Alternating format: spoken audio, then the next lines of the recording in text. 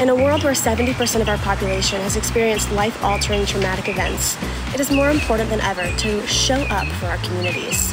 A few years ago, my sister was kidnapped and has not been brought home.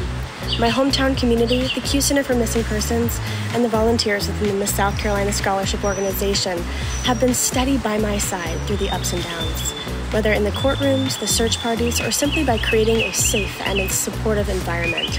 You have shown up time and time again for myself and my family in face of crisis, always there for me. Along the way, you've shown me the importance of resilience, tenacity, education, and working towards a bigger purpose.